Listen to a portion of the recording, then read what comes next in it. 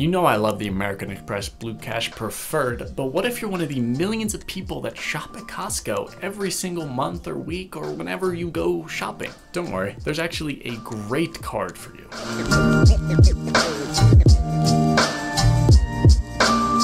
What's up you guys? I'm Jacob Fisher and today we're talking about the Costco Anywhere Visa. And alright, two credit card videos in one week, that's unheard of.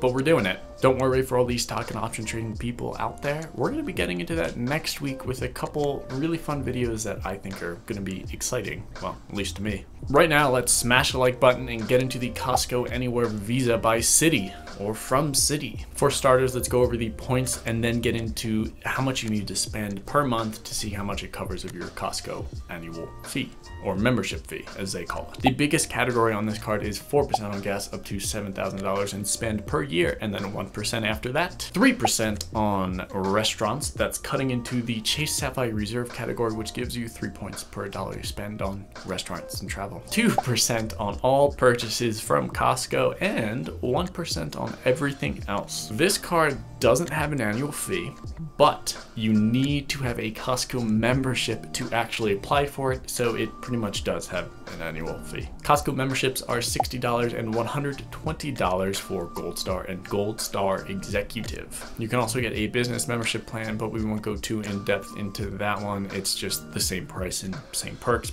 but you get to add people to it. You also need a Costco membership to actually go in the store and buy things from there. Trust me, I've tried to use a different membership ID that wasn't mine and they almost didn't let me check out. If you are deciding whether or not to get this card and have a Costco membership, then evaluate some of your purchases you make on gas, Costco, and the restaurant category. Let's do some quick math on this card to see how much is actually worth it. This is a bit of a tricky one because you could get the Citi Double Cash for 2% back on all of your purchases, but we're going under the assumption that you are a Costco member and that you will use the benefits of this card other than just the 2% back on Costco, so 4% on gas and whatnot. For the ease of access to understand how much you need to spend at Costco to pay for the annual fee, that's what we're going to be diving into in just a bit. First, we're going to take a quick look at Gold Star and Gold Star Executive and see what they give you. Gold Star Executive actually gives you 2% back at Costco on elig eligible purchases. Wow,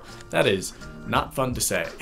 so Gold Star is $60, Gold Star Executive is $120 plus you get two, an extra 2%, so 4% total cash back on the Gold Star Executive category, or I should say if you are a Gold Star Executive member, then you get 4% cash back on Costco purchases. At $250 a month spent at Costco, you get $5 back a month or $60 a year on the Gold Star level. Now that will pay for your membership. And if you think about it, you get double the cash back. So you get $120 cash back for Gold Star Executive. So that actually pays for that membership too. At $300 a month spend, you get 72 back at the end of the year or $12 cash back after the membership fee is gone. Gold Star Executive executive is $144 cash back or $24 after the membership fee is taken off. So really, if you spend $300 a month at Costco, it's worth it to get the Gold Star Executive and the Costco Anywhere Visa because you will get much more cash back by shopping at Costco that way. It also just seems like you should have this card if you shop at Costco and spend more than $250 a month because that'll pay for your annual fee no matter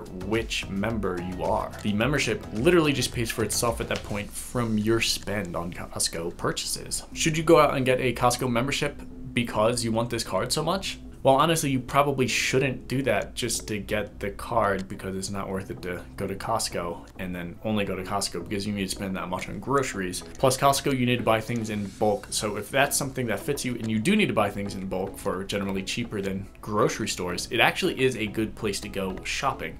But again, it should be close to you. You don't want to drive two hours to go to Costco. That just seems like a waste of time.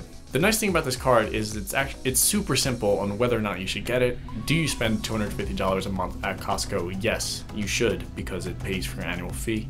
Do you spend $300 a month at Costco? You should upgrade to Gold Star Executive and get this card because you will get more cash back overall. That's pretty much it, you know, just those are the rewards you get and then you can add in your gas purchases. If the average American spends $2,000 on gas per year, you would get $80 cash back at the end of the year on gas, which is really nice. You can get more cash back overall using multiple credit cards and if you want to find out how, just click the video up in the corner because you can make over $700 in cash back per year. I upload videos on Monday, Wednesday, and Friday on travel and finance, so if that sounds like something of interest to you, then consider subscribing down below.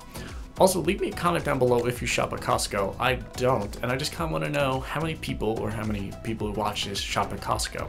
Thank you so much for watching, and until next time.